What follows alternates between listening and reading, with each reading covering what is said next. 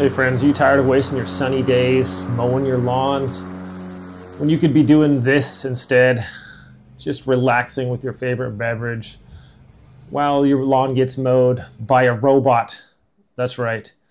No more wasting those sunny days pushing a heavy, noisy lawnmower around, or even worse, paying someone a bunch of money to do so. This um, GOAT A3000 LiDAR robot uh, is pretty amazing. So I just set this thing up and now I went from this overgrown lawn to a fully trimmed lawn in just a matter of a few minutes. This thing does an excellent job. Um, the cats don't even mind it. You can hear it's uh, doesn't really make a lot of noise. If you guys want to check this out, I'll link it in the description below.